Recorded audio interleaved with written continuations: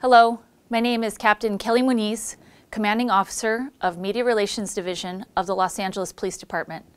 This critical incident community briefing is intended to provide you with information about a use of force incident that occurred in Topanga Division in the city of Los Angeles on May 21, 2022 at around 7.45 a.m.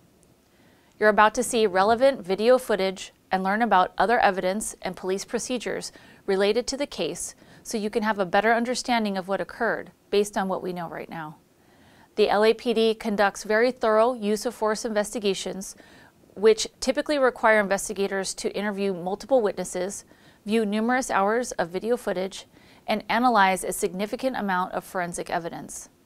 We are still at the very early stages of this investigation, which can often take up to a year to complete and our understanding of the incident may change as this additional evidence is collected, analyzed, and reviewed. We also do not draw any conclusions about whether the officers acted consistent with our policies and the law until all the facts are known and the investigation is complete. A word of caution. The images and information you're about to see may be disturbing. When a police officer uses force to arrest a suspect or defend against an attack, it can be graphic and difficult to watch. In addition, there may be strong language used by those shown in the video.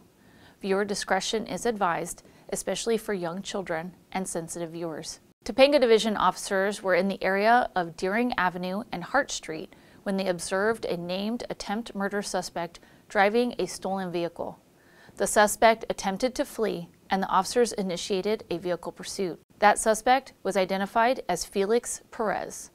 During the short pursuit, Perez lost control of the stolen vehicle he was driving and collided with a residential block wall, nearly striking a pedestrian on the sidewalk. Perez emerged from the vehicle and attempted to run away from the pursuing officers.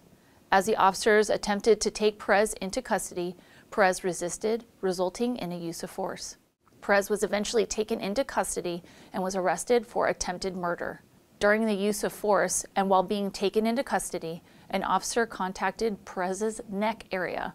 As a result, a categorical use of force investigation was initiated. Here is the corresponding radio broadcast. 21 out of 97, Chill in pursuit of a murder suspect, license plate. We are going to be on uh, passing Independence on Gault. Show was posted. Uh, TC not involved. Portion of this incident was captured on the responding officer's digital in-car video. Most marked vehicles assigned to patrol have a camera mounted inside, which activates when the emergency lights are turned on. The camera can also be manually activated. These digital in-car cameras have a buffer of video without audio. Upon activation, the camera goes back one minute and starts recording.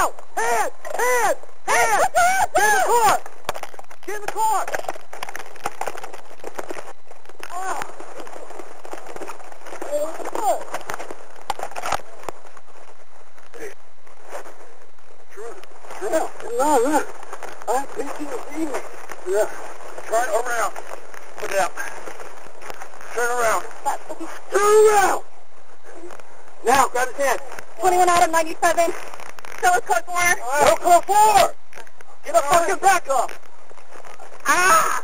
Let go of my fucking hand. Ah! My fucking hand. Yeah, all right. 97, letting the back up. Ah! Okay. Ah! Ah! Ah!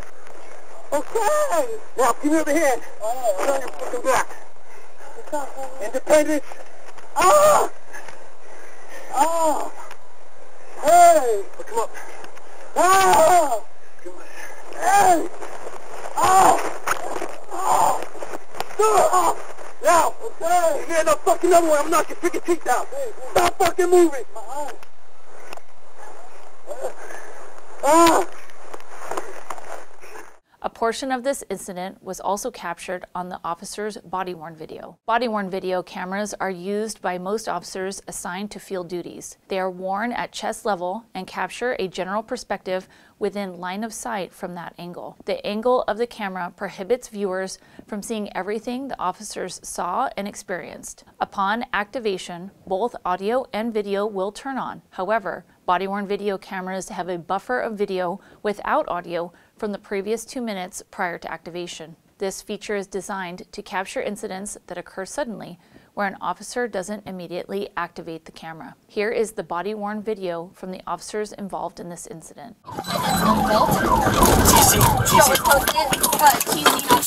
Hey, get in the car! Get in the fucking car! Now! Hands! Hands! Hands! Get in the car! Get in the car! Ah! Get in the car! Hey, what the fuck?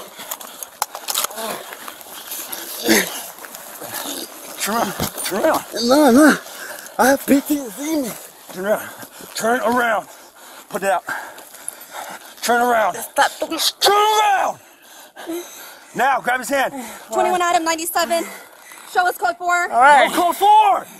Get a fucking back up! Ah! Let go of my fucking hand! Ah! Fucking hand now! 97 requesting a Fuck backup. around! Oh! Okay. Ah! Ah! Ah.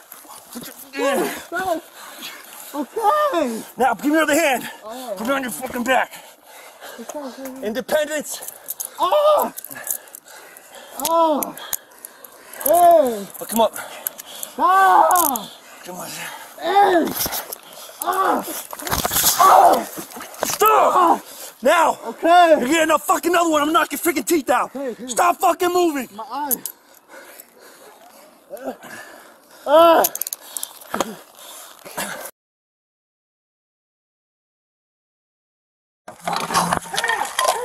Hey, put your hands up!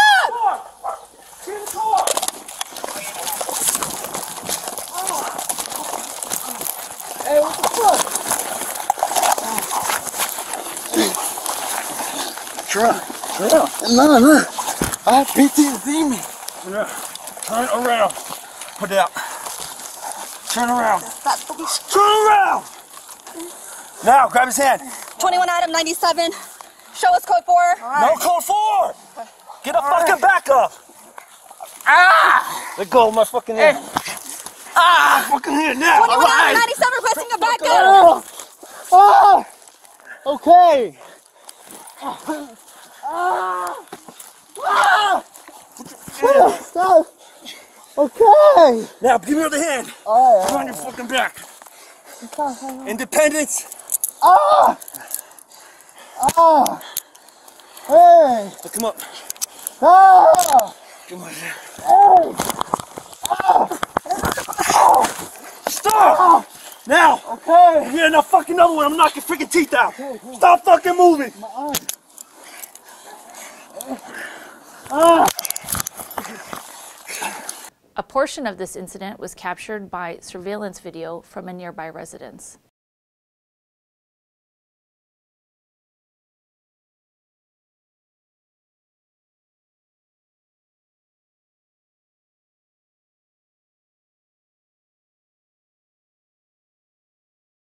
Los Angeles Fire Department paramedics transported Perez to a local hospital where he was treated for minor injuries sustained during the traffic collision and medically cleared for booking into a LAPD jail facility. LAPD's Force Investigation Division assumed investigative responsibility for this incident. Perez had been involved in the following crimes prior to being contacted by Topanga officers on May 21, 2022. May 14, 2022, assault with a deadly weapon, which was a firearm. May 15, 2022, carjacking. May 18, 2022, criminal threats.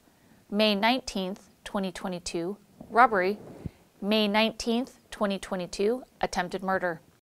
On May 24, 2022, the Los Angeles County District Attorney's Office filed the following charges against Perez two counts of assault with a deadly weapon with a firearm, one count of felony carjacking, one count of robbery, one count of attempted murder, and one count of felony evading.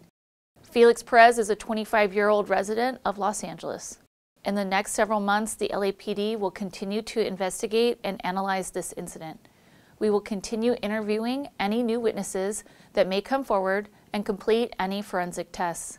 After the investigation is complete, our Critical Incident Review Division will forward their findings to the Chief of Police, who will make his recommendation to the Civilian Board of Police Commissioners. The board will evaluate the evidence to determine whether the officer's tactics and use of force in this instance met the high standards expected of all LAPD officers. If you would like more information on how the LAPD investigates all serious uses of force, visit lapdonline.org where you can find the LAPD's use of force policy and procedures. Thank you for taking the time to view this critical incident community briefing.